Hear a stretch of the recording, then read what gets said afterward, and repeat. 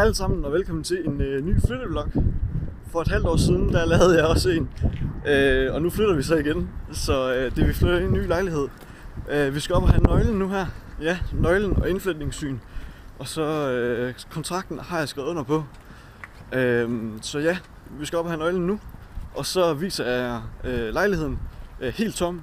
Og så øh, her senere i dag, øh, klokken er 11 nu, så her senere i dag, der skal vi have flyttet møbler og alt sådan noget ind. Så øh, ja, følg med i den her video også. Her er vores lejlighed. Så åbner man døren, kommer ind i entréen her. Og så lukker vi bare lidt døren. Herinde har vi øh, badeværelset. I får lige en hel house-tour her.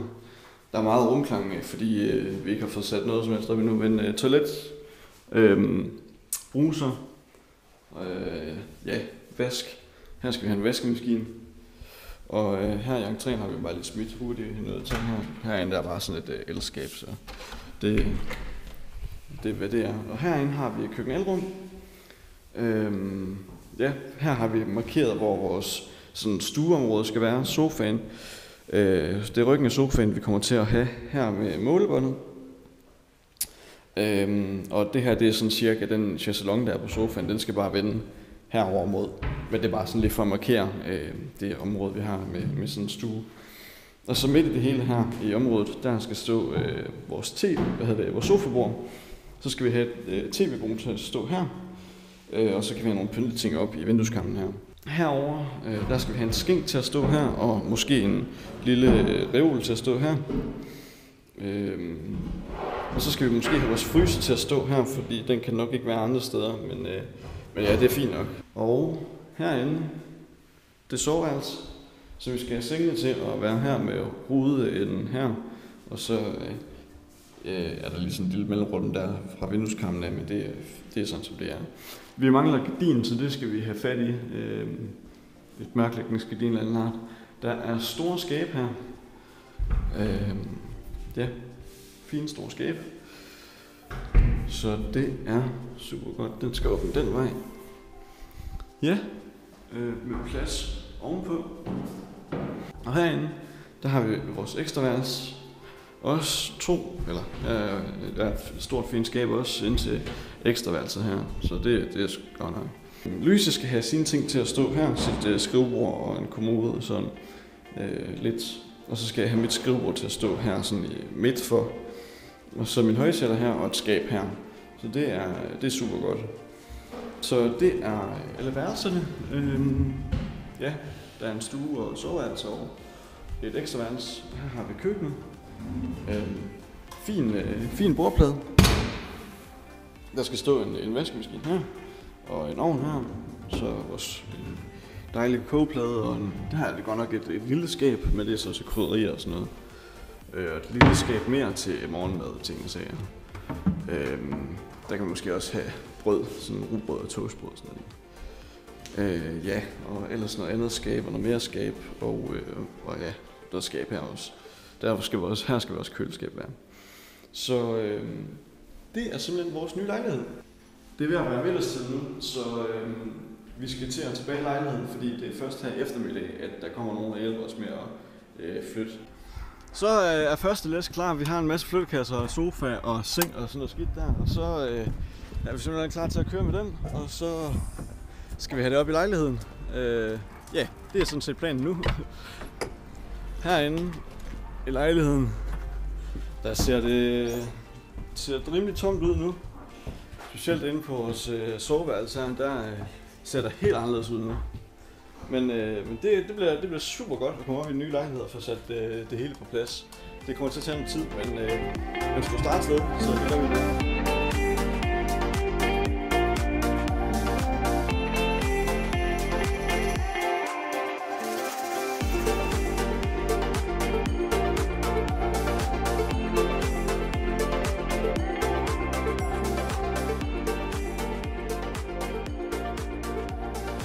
Godt, vi er i lejligheden nu. Her er øh, flyttekasserod. Øh, flyttekasse her, og fire flyttekasser her. Og øh, fire her også. Hold da. Og øh, der er vitrinskabet, og vi har fået øh, lille øh, køleskab øh, sat op her, og der er øh, det vigtigste, som jeg lige kan se. Øhm, og mikroen, der lige står her midlertidigt. Vores spisebord er her, vi har lige fået spist nogle pizzaer, super, super lækkert. Og så har vi lige fået sat sofaen sådan lige på plads. Den skal lige drejes rundt, så vi kan have øh, tv'et til at stå her, som jeg fortalte om tidligere, men det, øh, det er fint. Sengene er samlet her, øh, så de skal bare lige sættes på plads. Og inde ved siden af, der er der bare øh, rod, men det var jo lidt ligesom øh, den første flyttelok.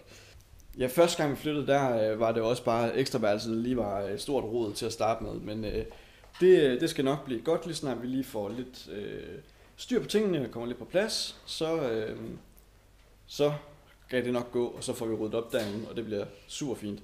Så øh, det var det øh, for i dag. Øh, jeg har faktisk ikke engang sagt, hvad dato det er. I dag er det fredag den 14. I dag er det fredag den 14. Øh, januar. Ja. Så vi ses igen i morgen, når det bliver lørdag. Så jeg opdaterer igen i morgen lørdag. Jeg har fået pillet børnesikringerne af øh, vinduerne her. Så nu kan man åbne vinduerne helt, i stedet for bare at kunne åbne dem sådan der. Så det går nok dejligt. Det hele ser ud som sidst, jeg lavede en opdatering, så der er ikke noget nyt der. Men i dag, der er lørdag den 15. Så vi skal i IKEA og øh, i Jysk også for at få et gardin ind til vores soveværelse herinde. Øh, der er ikke øh, noget øh, gardin, så det skal vi i hvert fald lige have, for det er meget essentielt. Hallo, i dag er det søndag den 16. Vi har fået købt et gardin i går i, øh, i Jysk, som vi skal herop og hænge. Og så her har vi sat, øh, det gjorde vi i aftes, fik sat al vores tøj ind øh, i skabene her, så det er jo helt perfekt. Vi købte et tæppe i går. Vi er lidt usikre på, om, det, om vi vil have det her tæppe her, men, men det giver heldigvis så nice, at hvis ikke vi har lyst til det, så kan vi bare pakke det ind igen, og så smide det derud og få refunderet det. Men skink og en lille øh, reol og en reol mere her. Og så har jeg fået en skål, og der ligger et tæppe der og et par planter. Her i køkkenet er der kommet lidt styr på tingene. Hvis vi åbner en skabslåge her, så kan vi se, at der er kommet tallerkener ind, og der er kommet glas ind. Og øh, madvarer også. Ja, så det er fint. Og køleskabet er fyldt op, eller det er ikke fyldt op, men der er fyldt ting ind. Øh, spisebordet her ser ikke sådan lige helt perfekt ud endnu. Det er sådan et sted, vi lige smider ting, vi lige skal have sat på plads. Men øh, vi har fået os et spejl her, øh, som skal op og hænge over øh, den her skohylde. Øh, så det skal hænge lige her. Jamen, øh, hej og velkommen til en øh, ny dag.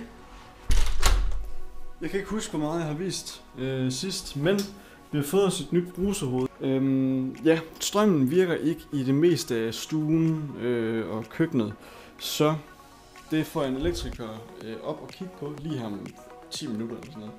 Her, her har vi tomme fyldekasser, så der, der er der sket noget. Og her har vi så vitrineskabet, som skal stå her. Øhm, herinde, der har Louise fået en høj kommode op her. Og vi har fået øh, skabene fyldt op her. Der er øh, spil og ting og sager herinde. Øhm, det tror jeg måske også, jeg har fået vist. Og så har vi en vindueskarm her, øh, hvor der ikke rigtig lige er noget endnu, men det, det tror jeg, der skal være. Louise skrivebord, mit skrivebord, vi har fået det her skab op her, hvor vi har, øh, ja, vi har nogle poser der, og hvad har vi her? Øh, batterier og sådan nogle ting. Hej igen, det er øh, torsdag den 20. januar. Så vi har fået strøm i lejligheden. Elektrikeren har lige været her i dag, og det er super dejligt, at vi endelig har fået strøm. Øhm, for at gøre en lang historie kort, så øh, er det fikset nu, øh, og vi skal have lappet det her hul her. Øhm, og så øh, var der også noget galt herinde bagved, øh, bagved M-hætten her. Men nu der tænkte jeg, at vi har fået øh, sådan et, øh, et skab her. Vi har fået sådan et skab her, øh, som skal stå ude på badeværelset øh, under vasken, hvor vi kan have nogle ting til at stå dernede. Så det tænkte jeg jo til at samle nu, og øh, det kunne lige blive en, øh, en super fin timelapse, tænkte jeg. Så... Thank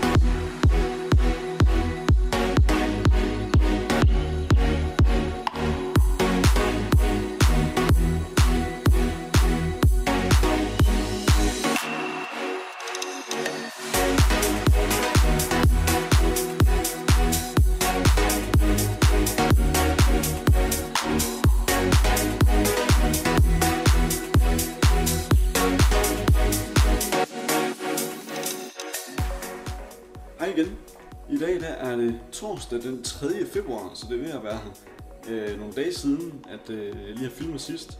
Men øh, ja, vi har bare lavet sådan lidt småting en gang imellem, så jeg gad ikke lige sådan op til at forvandle til småting. Men nu er der så sket en, en øh, masse ting, fordi det er ved at være lidt tid siden. Vi har fået en vaskemaskine. Det er vores nye vaskemaskine, den her. Øh, vi har ikke prøvet den endnu, men super, super glad for at have en vaskemaskine. det har vi brug for. Nå jo, og så har vi fået os et, øh, et skab her ude på badeværelset, vores håndklæder øh, op på de her knæer her, vi selv har sat på. Øhm, det ved jeg ikke, om jeg har fået vist, men i hvert fald så er det skab der. Øhm, vi har stadig den her løsning her med køleskab og fryser sådan her. Det, det står godt nok lidt sjovt, men vi, vi har faktisk ikke brug for mere plads i, i fryser eller køleskab, så vi tænker, at det, det er faktisk fint nok lige indtil videre. Og så er der blevet ryddet lidt op, som jeg, som jeg nok kan se, der er kommet lidt mere gulvplads. Vores, øh, vores tæppe øh, fjernede vi øh, fra gulvet af, det synes vi ikke, det var så pænt. Så finder vi på en anden løsning, og vi har sådan en lille, vi har sådan en lille tæppe her til øh, sofaen, som øh, er ret lækkert. Øhm, og vi har fået samlet, øh, jeg har fået samlet mit øh, vitrinskab. Øh, og ja, altså, nu har jeg bare lige sat nogle ting ind. Øh, det, det står ikke sådan helt perfekt, men, øh, men sådan lige indtil videre, så står det bare sådan her. Øh, nogle ginglas og nogle martiniglas. Jeg ved ikke, om de martiniglas, de skal stå fremme, eller hvad. Jeg ved heller ikke med de der shotglas, som de skal stå fremme. Men jeg tænker i hvert fald, at jeg skal have nogle flasker til at stå nede i bunden. Øhm, og så de der kasser der har vi ikke noget i endnu, men, øh, men det kan der så komme på et tidspunkt. Jo, og, øh, og væggen her om bagved her, den er blevet øh, fikset nu. Der kom en, øh, der kom en maler og øh, ja, rev øh, nærmest hele væggen ned øh, her, eller ja, hvad skal man sige, tog øh, tapetet af. Man kan se, at øh, der lige er sådan en lille joint der. Øhm, ja, så han tog øh, tapeten af, og så satte noget nyt på, fordi det blev, det blev meget pænere. Så nu skal vi bare huske ikke at bore i ledningen, og så øh, burde det være meget godt. Herover ved jeg ikke lige helt, hvad jeg skal... Altså, der er en lidt rodet nu stadigvæk, men det ser meget pænere ud end, end sidst. Øh, ja, opdateret. Og herinde, øh, Louise, hun ved stadig ikke helt, hvordan hun vil have skrivebordet til at stå her, øh, men øh, vi synes egentlig, det står fint nok lige indtil videre. Øh, måske kunne det være, at den her kommode her, den skal byttes rundt, så den står derover, så benene står herover. Fordi så, så er der nok lidt mere plads til, at vi begge to kan, kan sidde her øh, på samme tid. Øh, men jeg har fået mig et dejligt, mega dejligt gulvtæppe her. Ah, det er så blødt. Et, øh, et rigtig lækkert gulvtæppe. Og så har vi så vores gamle tæppe her, vi skal ud i IKEA med. Der kan vi heldigvis øh, forbytte det. Øh, ja. Jo, og så er der en lille øh, sådan vinholder øh, her, øh, som øh, jeg vil have nogle flasker i øh, også. Men ja, det er i hvert fald øh, det er lige for nu, og vi har fået sat øh, lampe op her i stuen. Og øh, inde på værelserne er der også øh, kommet en lampe op her. Så vi mangler øh, spisebordslampe, og så mangler vi en lampe i entréen. Og det er, det er faktisk øh, det, vi sådan lige mangler. Så skal vi så have gulvtæp. Men ellers så skal det bare sådan lige sætte sådan helt ordentligt på plads. Øh, så, så vi faktisk, vi er faktisk sådan, ja, det jeg vil kalde for flyttet ind nu. Der er godt nok sådan lidt øh, gråt og trist i dag, men øh, så er det jo godt, at vi har fået hængt lamper op øh, over spisebordet. Og så øh, udover det, så har vi også lige fået hængt øh, mine øh, to malerier herop, som øh, Louise har malet til mig. Så øh, det, er, øh, det er der, hvor vi står lige nu øh, med huset, eller med lejligheden. Øhm, og det er den 24. februar i dag, så ja, øh, det har været en lidt langsommere proces, men, øh, men sådan er det, når vi sådan lige sådan skal flytte ind og falde på plads, og, og vi har skole og sådan ting ordentligt. Men øh, ja, det var, det var sådan set det, jeg tror lige sådan, øh, ja, jeg vil vise den her video her, fordi ellers så kan vi jo blive ved hver eneste gang, der er bliver lavet nogle små ting, så øh, tak fordi I har set med. Øh, og smid endelig et kæmpe stort like, hvis I har kunne lide videoen. Og så håber vi ses i næste video. Hej hej.